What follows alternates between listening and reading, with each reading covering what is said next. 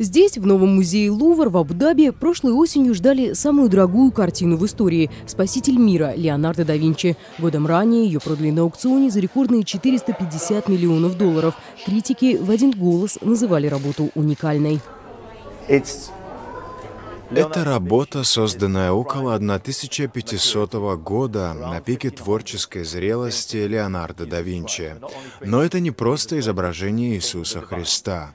Это изображение божественного. В этой картине все техники, характерные для Леонардо да Винчи. Однако картина бесследно пропала. Лувр в Абу-Даби, как и парижский Лувр, отказываются отвечать на вопросы журналистов о ее местонахождении. Как пишет Нью-Йорк Таймс, информации об этом у музеев просто нет. Впрочем, в истории картины это далеко не первое исчезновение. С середины 17 века, когда спаситель мира упоминался при описи имущества английского короля Карла I, до начала века 21 шедевр считался утерянным. Считалось, что она была уничтожена.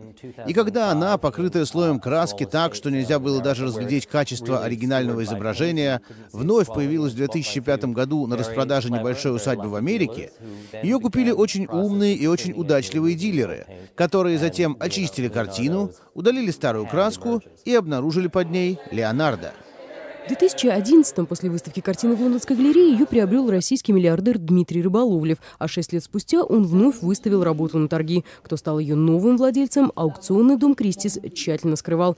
Но Нью-Йорк Таймс утверждает, это был саудовский принц Бадр бин Абдулла бин Мухаммед бин Фархан. По одной из версий, Бадр действовал в интересах своего друга, наследного принца Мухаммеда бин Салмана Аль-Сауда, который и стал настоящим владельцем картины. На каких именно условиях музей в Абу-Даби планировал получить картину от саудитов, неизвестно известно, хотя наследный принц Абу-Даби также близко дружит с наследником Саудовского престола. Впрочем, судьбу картины ни саудовские, ни эмиратские власти не комментируют. По словам профессора Даян Модестини, которая занималась реставрацией картины, после аукциона «Спаситель мира» был отправлен в Цюрих для экспертизы у другого мастера реставрации. Однако заказ на осмотр полотна был неожиданно отменен, и с тех пор о картине никто не слышал. Парижский Лувр все еще надеется включить шедевр в выставку, посвященную 500-летию смерти да Винчи. Она должна открыться осенью этого года. Екатерина Бучнева. Настоящее время.